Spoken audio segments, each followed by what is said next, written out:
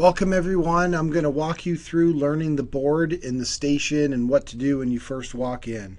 So let's run the slideshow. Come on slideshow from the beginning and off we go. So again, we're learning the board. Uh, enjoy this screencast and I strongly recommend taking notes so that you can refer back to what you have and uh, fully learn this material what we're going to cover today. I'm going to give you the first thing I'm going to show you is a big picture overview of the whole station and how that works. Uh, I'm going to give you some tips on when you first come into the station, which are really important. And then we're going to get into uh, the board overview, running the board, and of course, I'll recap at the end. So off we go. Here's a big picture of the station, and I'm going to move from right upper through and down. So first of all, over here, you're seeing two things. You're seeing the phone. 1675 is the extension. You want to get phone calls coming in so you can put them on the board, and we have that capability. We really like students using it. Here, you can't see it great, but there are a set of headphones here, and the cord runs down, and it comes up, and it plugs right into the board right there underneath this gray strip. Headphones. I encourage you to use your own headphones and, and we have an adapter and again it would plug in right there. Up here is mic 2. This is for your guest, your partner. If you're doing a partner show, that's great. You'll use mic 2. Uh, and then this one over here is mic 1. This is your primary mic. So you've got two mics. We also have mics 3 and 4. We're not going to show you those. They're around back. Up on top, these are your control room speakers. There's right speaker and left speaker. And so you've got two control room speakers, and there's a volume that you control those with. Computer to monitor. This is the station computer. It runs the stream, it plays our automation, it holds all our student shows. There's a lot going on with this computer here, but this is the station computer. The board this runs your shell. The keyboard, this will you allow you to function with this computer. Over here you see a second computer. That's somebody's laptop connected to the board and they're playing their own music. You can play your own music on two auxiliary channels. This is on auxiliary one. You see this little cord and you can't see it, but it's coming into this computer. Also over here you see auxiliary two cord, which plugs into any device, Android, iPhone, iPad, any device you can plug in and play your music on. Over here, you see the CD player. There's two decks. Uh, this is CD deck one and CD deck two. So CDs are actually the best quality music that we have and we can play. If you have CDs, I strongly encourage you to play them. And then down here, lastly, this is the call in box. This is the box down here that you'll use to take call ins. And so that's going to be helpful when we get to that point and you're taking call ins and you're putting them over the air. When you do put calls in over the air, you'll talk to them through the headphones. You'll, I'm sorry, you'll talk to them through the microphone and you will listen to them through the headphones. Let's move on. This is the big picture. This gives you everything.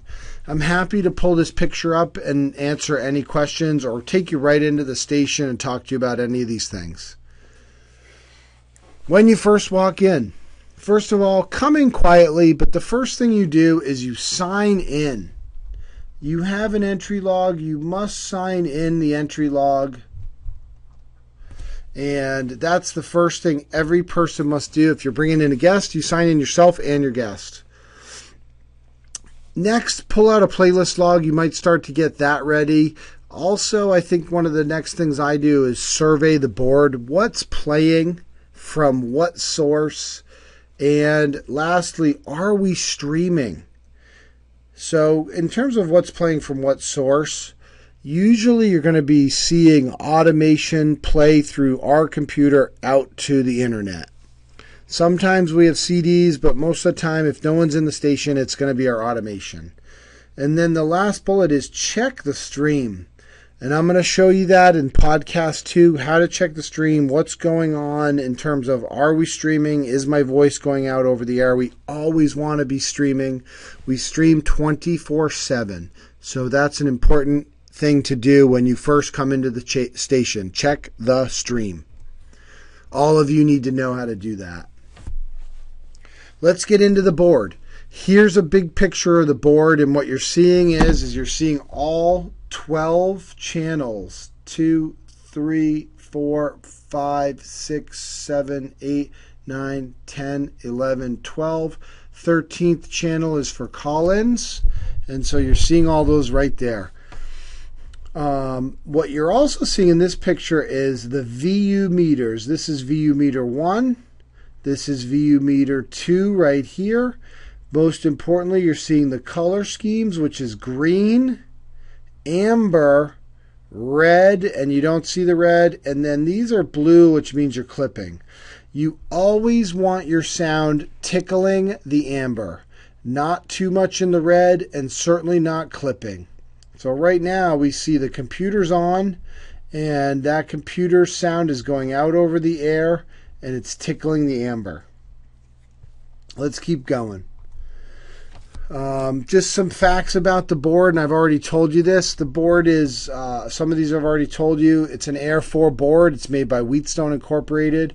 I showed you the VU meter and reminding you that you always want to tickle the amber. Um, there's 12 channels with a 13 phone input channel. There is also control room and headphone right over here. Uh, volume controls. So this will control your control room speakers. This will control your headphone volume. Um, let's keep going. Overview of the channels. Let's look at these individual channels and let's go from top to bottom. What you're seeing in this picture is primarily where you're going to be, which is mic 1, mic 2, nothing or mic 3 which we you must have permission to use mic 3 and 4 so they're not working and they're not open for just anyone to use computer auxiliary 1 and auxiliary 2 let's go to the next picture and let's work from top to bottom on this so in terms of operating a channel the top button is an A slash B do not worry about that. It's not in use, and we don't worry about the A and B button. The next set of buttons are Program 1 and Program 2 and the Q button. So let's look at those. Program 1 is right here. It's on each individual channel. It's right here. I'm showing them to you. Here's Computer Program 1, Auxiliary Program 1. Program 1 is on air use. So if that's lit up as it is here for the computer, that means it's on air and you're streaming. Program 2 is off air and that's meant for queuing up songs, your mic, checking your mic sound.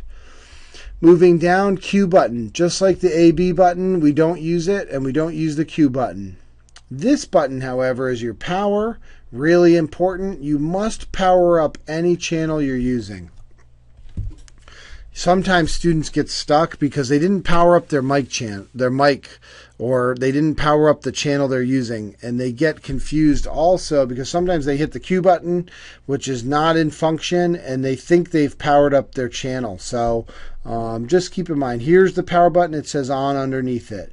And again going back to this example you see the computer on you see it going out over the air and I've already shown you the VU meters in terms of slides and where to put these slides, if you look right here, there's a white line. That's a good indicator of where you want it. Actually, the computer is way up at the top. It's way over this line. But generally, you want to be between 10 and 15 right here on this white line. You can see that mic is right about there. This one is a little bit higher. But that's where you're going for on the slide control. Let's see, where are we at? Let's keep going. Students primarily use mic 1, aux 1, and computer. So if we go back, you're going to be on your mic. You're going to be looking at and you're probably playing stuff from the computer. and then also playing from your own device. That's primarily 80% of where you're going to be. Um, when the microphone's on, I'm going to really encourage you to use your headphones. So when you're using your headphones, um, that allows you to hear yourself, what's going out over the air. I'm going to strongly encourage you to use your headphones. Also, when you put your headphones on, you do not hear the control room speakers. So just keep that in mind. The control room speakers cut out when you put the microphone on. Um, you're always reading the VU meter and watching the levels. Again, tickle the ambers. And really, that becomes the skill of using the board, which is watching your levels, not too much dead air, not clipping, and you know, thinking about what you want to say and really monitoring your levels. Moving on. Um, these are some of the transitions that you do. Most of the time, you'll be transitioning from your player to the mic, from the computer to your player, from the computer to the mic. You will figure out that is the skill learning how to transition and and using the board to transition from different channels. Um, practice this last bullet just says practice will get you up to speed quickly. So um, let me recap. Mic 1 computer and aux 1 and aux 2 you'll mostly stay on aux 1 um, bus 1 is on air bus 2 is to cue it up don't worry about the cue button. Always power up your channel. And then here's your sound and running your level so that you get a good view, me, VU meter tickling the ambers. Um, so it's been about 12 minutes. I'm going to cut it off. I've shown you an overview of the station. When you first come into the station, don't forget to sign in. And I've given you a board overview and how to run the board. And now I'm going to call it. And again, if you have questions, and I hope you took a lot of notes, you can uh, feel free to come in and ask, and I'll look forward to talking to you more individually.